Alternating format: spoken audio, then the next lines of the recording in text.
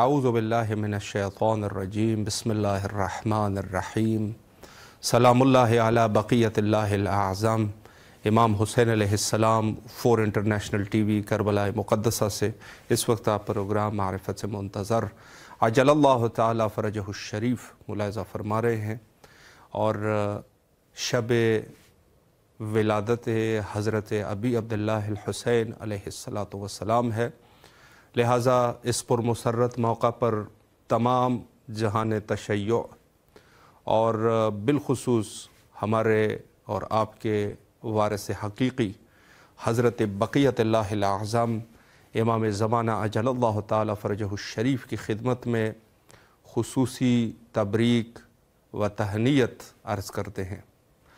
नहायत ही पुरमसरत मौका है और ख़ुद शाबान अलमुज़म जो कि ईदों का महीना है। और इसमें सबसे अजीम ईद हज़रत इमाम हुसैन सलाम की विलादत बासादत और उसके बाद हज़रत अबुलफ़ल अब्बास की विलादत बासादत और उसके बाद हज़रत इमाम सज्जाद सलाम की विलादत बासादत और एक रिवायत के मुताबिक यकुम शाहबान हज़रत शरीकतुलहुसैन ज़ैनब सलामुल्लाह उनकी विलादत बासादत और हज़रत अली अकबर अलैहिस्सलाम और उसके बाद हमारे वारस हकीकी हज़रत बक़ीत आज़म, इमाम ज़माना अजल्ला फ़रजशरीफ़ की विलादत बासादत, ये तमाम के तमाम हमारे लिए याद है, ईद है सब के सब। और शाबान वो मुनफरद महीना है कि जिसमें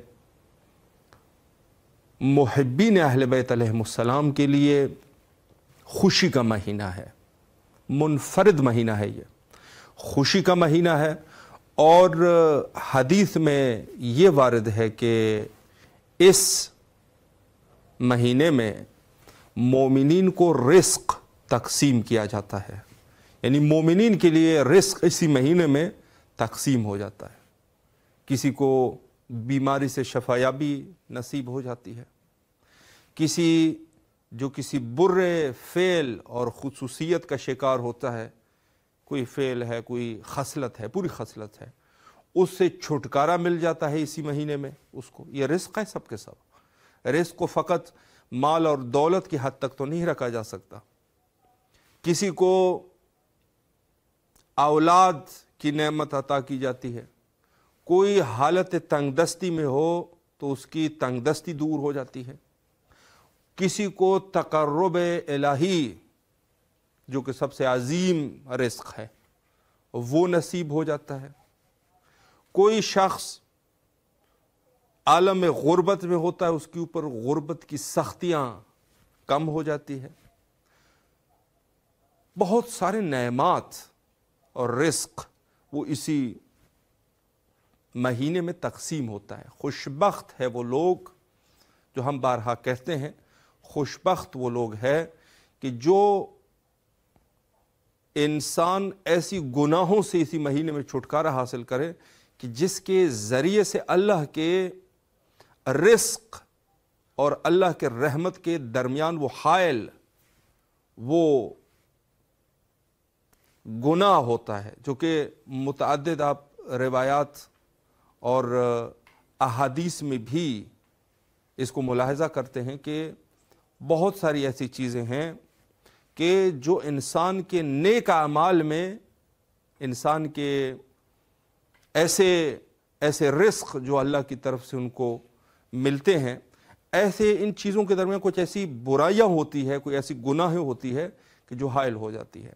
खुशबख्त है वो आदमी कि जो इस महीने में उन गुनाहों से छुटकारा हासिल कर सके कि जो रब की वो नमात जिसके इंसान मुस्तक है यकीन मुस्तक है, उनके दरमियान जो गुनाह हायल है, उनसे जो है छुटकारा हासिल कर सके। और आज के उनवान से जो कि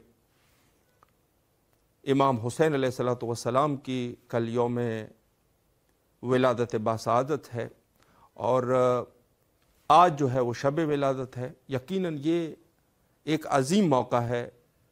तमाम के तमाम जो भी अहल ईमान है, उनके लिए एक अजीम मौका है।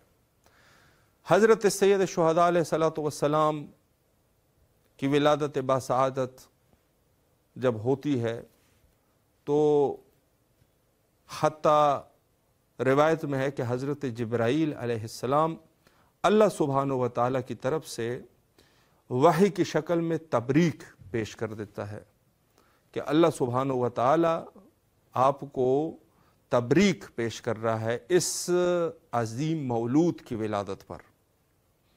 यानी हती फ़रिश्तगान इलाही का नज़ूल और हौरन और मलकूत तमाम के तमाम आलम जो अल्लाह ने खल किए हैं सब में खुशी का एक माहौल बन जाता है इस विलादत बासादत के उनवान से। लेकिन जहाँ पर खुशी है तो साथ में ज़ाहिर है कि मौला इमाम हुसैन सलाम का नाम यकीनन गम का नाम है। जब भी हज़रत का नाम लिया जाता है तो बेसाख्ता अश्क जारी हो जाते हैं और इसकी ख़बर सबसे पहले अल्लाह सुबहान व ताली ने रसूलुल्लाह सल्लल्लाहु अलैहि पर इसको आयान कर दिया कि इस फर्जंद को सरजमीन करबला में शहीद कर दिया जाएगा।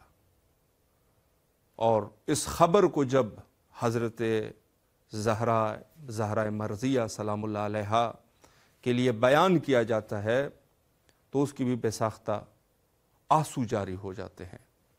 और इसी तरीके से हज़रत अमीर अलमिन सलाम यानी नाम इमाम हुसैन सलाम पर सबसे पहले खुशी के साथ साथ गिरिए का माहौल भी अहल बैत के घर में ही शुरू हो जाता है। और यकीनन इस खबर को देने वाले ज़ात बार ताला है। तो एक आज़ादारी का माहौल उसी वक्त ख़ुद विलादत के मौका पर जो अल्लाह की तरफ़ से वही होती है।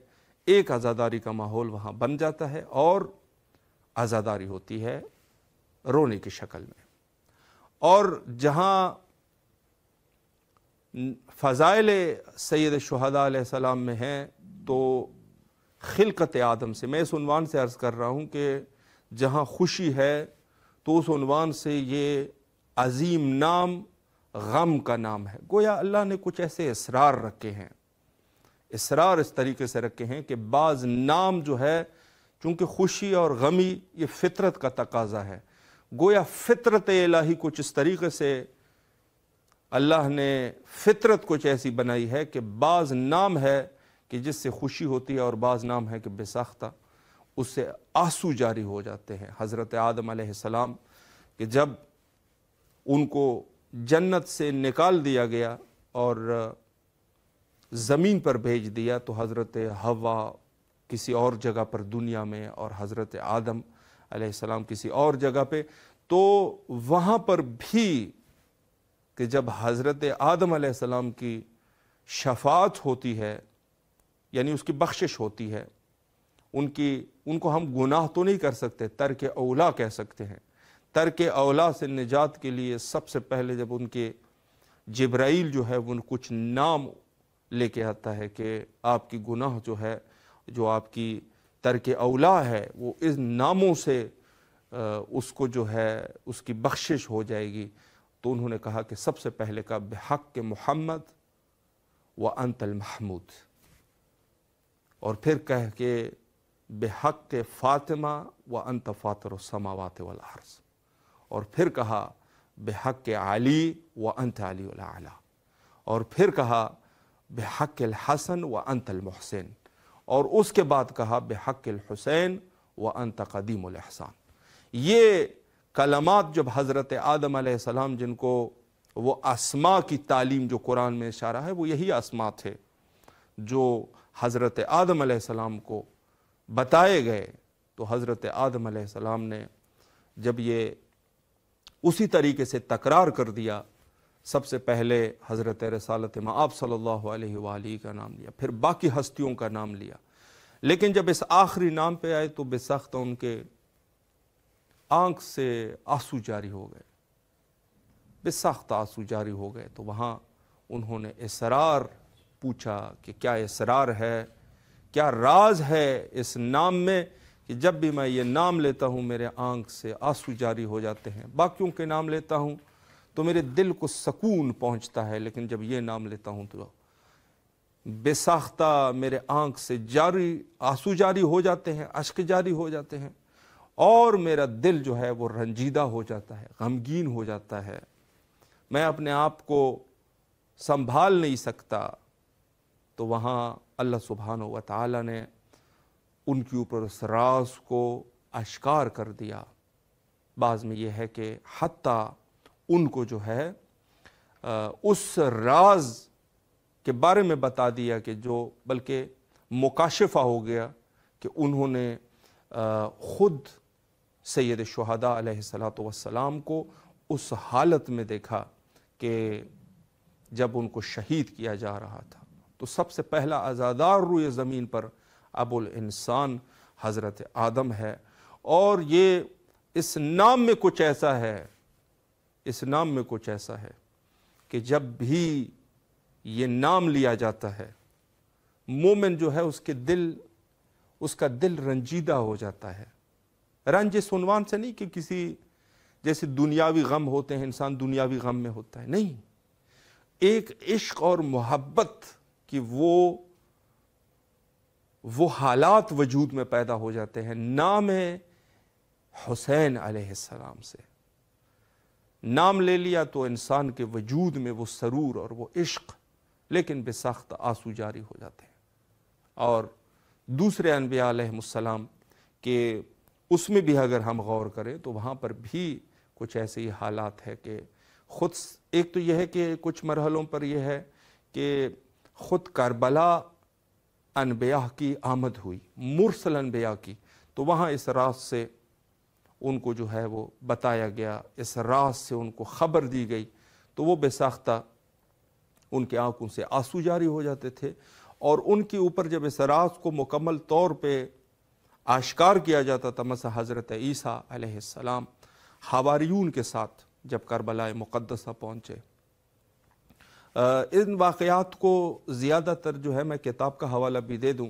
काजी नूरुल्ला शुस्त्री काजी जाफ़र शुस्त्री जाफ़र शुस्त्री ने किताब खसासतुलहुसैनिया में इन रवायात को ज़्यादातर लेके आए हैं बड़ी मोतबर किताब है शेख जाफ़र शुस्त्री की खसासतुलहुसैनिया वहाँ पर बाकायदा इस चीज़ का तस्करा मौजूद है कि हज़रत आदम आसमाम हज़रत ईसा आसमाम जब हवारियून के साथ इस मकाम पर पहुँचे यानी मकाम करबला पर पहुँचे तो उनको अजियत हुई। जब अजियत हुई तो उन्होंने इनका राज पूछा कि क्या राज है? तो उसके ऊपर इस हालात को ज़ाहिर कर दिया गया। जब ज़ाहिर कर दिया गया तो वहाँ उनके और हवारी और ख़ुद हज़रत ईसा उन्होंने गिरिया किया। गिरिया जारी की और उसी तरीके से हज़रत मूसा या हज़रत नूह अलैहिस्सलाम हज़रत नूह जब उनके ऊपर राज को आश्कार कर दिया गया। बाद में यह है कि किताब शहादत उज़मा में कहते हैं कि नूह का नाम इस वजह से, नाम उसका कुछ और था, अब्दुल गफ़ूर नाम था या अब्दुल गफ़ार उनका नाम जो भी था। लेकिन नूह उसको इस वजह से कहते थे कि ये ज़्यादातर नौहे पढ़ा करता था। खान काबा जो मकाम है, ये अव्वलबैत ये पहला घर जो अल्लाह का है उसमें जो है, ये नौहे ज़्यादा पढ़ा करते थे मौला इमाम हुसैन सलाम के लिए। जब इसके ऊपर ये राज आश्कार हुआ और मजलूम करबला के हालात उसके ऊपर आश्कार हुए तो उसने नोहा पढ़ना शुरू कर दिया और कसरत से गिरिया फरमाया करते थे। इसी वजह से इनका नाम जो है वो नूह हो गया, ज़्यादा नोहा पढ़ने वाला या इस किस्म के मानों में। तो सब अनबियासम के ऊपर जब भी ये राज आश्कार किया जाता था तो उनको जो है वो गिरिया करते हज़रत इब्राहीम सलाम का वाक़ जब हज़रत अल्लाह अल्लाह सुबहान व ताली ने उसका इम्तहान कुछ इस तरीके से लिया कि अपने बेटे को आप ज़िबा कर लीजिएगा।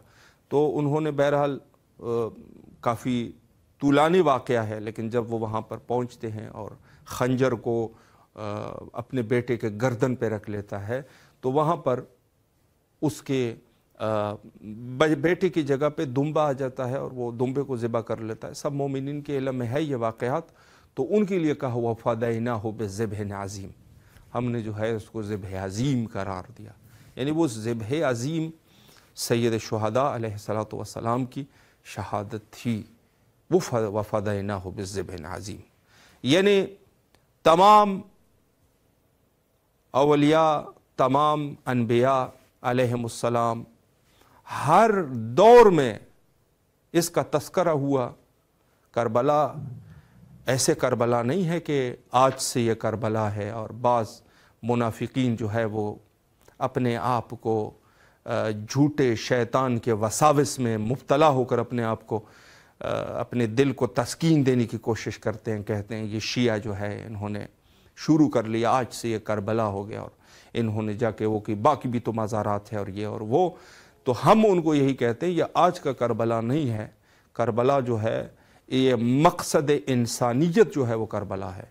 इंसानियत का जो मकसद है, इंसानियत की खिलकत की, खिलकत का जो जो जो मकसद और अहदाफ है, वो करबला है। तो करबला उसके लिए और ये करबला इमाम हुसैन सलाम, जिनकी गोया अल्लाह ने कुछ ऐसे राज रख दिए कि हर वो शख्स जिसको अल्लाह और हदीस में वारद है, अल्लाह जिसकी अच्छाई चाहे, उसके दिल में हुब करबला व ज़ियारत इमाम हुसैन सलाम, यानी हुब करबला और हुब इमाम हुसैन सलाम उसके वजूद में डाल देता है। ज़ियारत करबला का मतलब यानी ज़ियारत इमाम हुसैन सलाम उसके वजूद में डाल देता है।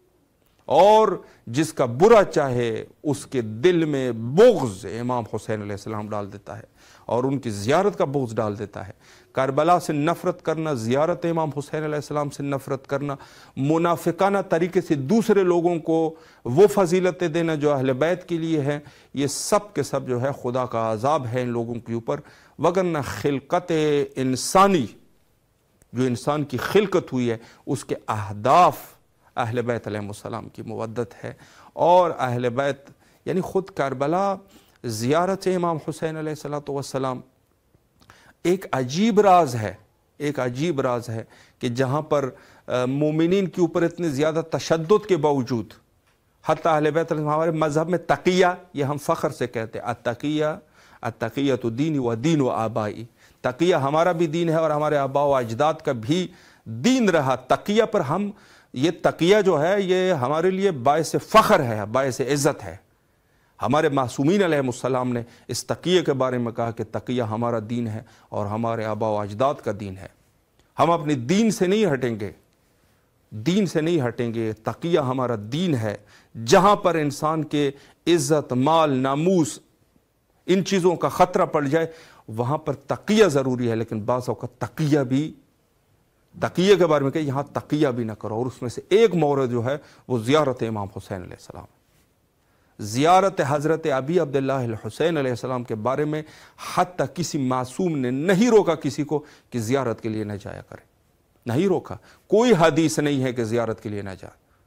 अलबत् हालात कुछ ऐसे थे जो वाक़यात में इबन इबन फतूती, इबन फतूता इबन फतूता ऐसे वाक़यात में, इब्राहिम मुजाब के वाक़यात में ऐसे लिखते हैं, यानी पहले तो उनकी तारीफ़ करती है कानम मिन जुहाद अलबाज यानी ख़ुद हज़रत इब्राहिम मुजाब आसमाम जो इमाम मूस सलाम के नवासे हैं, और हज़रत मोहम्मद आबिद आसमाम के फ़र्जंद है। उनके अहवालात में ये कहते हैं कि जब कोफा में ये रहते थे तो इनको मुजावर हुसैनी के नाम से याद किया जाता था। हालात कुछ ऐसे थे मुतवक्ल अब्बासी का दौर था, कोई नहीं जाता था। यानी ख़ुद हज़रत इब्राहिम मुजाब को खादम इमाम हुसैन सलाम कहते थे, लेकिन उसके बावजूद भी कोई जो है वो नहीं जाता था। कोफा में मुकीम थे। हालात कुछ ऐसे थे कि लोग खुद नहीं जा सकते थे, चूँकि उन्होंने जो जो ज़मीना साजी की हुई थी और जो ख़तरा था तो ख़ुद लोग नहीं जा सकते थे, लेकिन ख़ुद मासूम ने किसी को नहीं रोका। किसी को नहीं रोका। कहा कि आप करबला जाया करें, कोई जा सकता, कोई थोड़ा सा भी अगर इंसान जो है वो कर सकता है तो ज़ियारत इमाम हुसैन सलाम को तर्क न कीजिए। गौर करें आप। किसी मासूम से तकिया ज़रूरी है, लाजमी है, और हती इंसान जो है वो तकिया कर सकता है बाज़ जगहों पे। ख़तरा है इंसानी वजूद के लिए। कत्ल होने का ख़तरा है। मासूम ने फरमाया, आप तकिया किया करो। आपकी जान जो है, आपके कत्ल से ज़्यादा मुहिम है हमारे लिए। आप ज़िंदा रहोगे, हमारे लिए फ़ायदा है। आपकी कत्ल जो है, वो हमारे लिए ज़रर है। लेकिन जब ज़ियारत इमाम हुसैन इस्लाम की बारी, किसी मासूम ने नहीं फरमाया कि आप जो है वो ज़ियारत इमाम हुसैन इस्लाम पर न जाएँ। इसके वजूहत क्या है? वजूहत ये है कि ये इस कदर ज़रूरी है गोया के बकाए दिन जो है वो सैद शहदा की ज़ियारत और इनकी विलायत और मवदत है। लोग करबला से मुतसिल रहेंगे तो आ, दीन बचता रहेगा उनका ईमान बचता रहेगा। करबला को छोड़ दिया ज़ियारत इमाम हुसैन को छोड़ दिया लोग जो है वो अपने ईमान से हाथ धो बैठेंगे। ईमान कुछ नहीं रहेगा, ख़त्म हो जाएगा सारा कुछ। जो करबला से मुतसिल है, चाहे किसी भी दीन का है, आदमी शरीफ है, उसका ईमान जो है वो हिप्स है, अपने उस पर लेकिन जो लोग जो है इस किस्म के दुश्मन है, ईमान से हाथ धो बैठे हैं, उनकी ज़िंदगी ज़िंदगी जो है वो ख़त्म हो चुकी है। वो तो जीता जागता लाश है जो फिर रहा है। तो ज़ियारत इमाम हुसैन सलाम की नहायती ताकीद है और इन शजीज़ आयाम में कोशिश करेंगे कि किसी न किसी तरीके से आ, कुछ जितना जितनी गुफ्तु कर सके। ज़ियारत के उनवान से भी थोड़ी बहुत गुफ्तु हो जाए और दीगर जो मुनासिबात है उसके उनवान से भी गुफ्तु की जाए। और ज़रूरी है लाजमी है कि हम जो है वो इस अमर में पुख्ता हो जाए। और वो लोग जो ज़ियारत इमाम हुसैन में किसी तरीके की भी रुकावटें डाल रहे हैं या जो है ऐसे रुकावटें, माली रुकावटें या और किसी तरीके से, काबिल हिदायत है तो मौला हिदायत फरमाए। अगर काबिल हिदायत नहीं है तो खुदा उनको नस्त नाबूद फरमाए ताकि मोमिन के लिए रास्ता हमवार हो जाए। कारबला और ज़ियारत इमाम हुसैन सलाम से तव, से मुतवसल रहेंगे, उनके साथ टच रहेंगे तो ईमान भी बचता रहेगा और उनका दीन जो है, इस्लाम भी, इस्लाम की बका भी यही है। और वक्त तकरीबन हमारा इंतहा पर पहुँच चुका है। और आखिर में इस माह शाबान और इस पुरमसरत मौका पर हजत खुदा के ज़हूर के लिए दुआ करते हैं और आपसे भी गुजारिश है कि इन आयाम में मखसूस हजत खुदा के ज़हूर के लिए दुआ क्या करें। सब मिल के दुआ करते हैं। अल्लाह अज्जल वली कल फ़रज।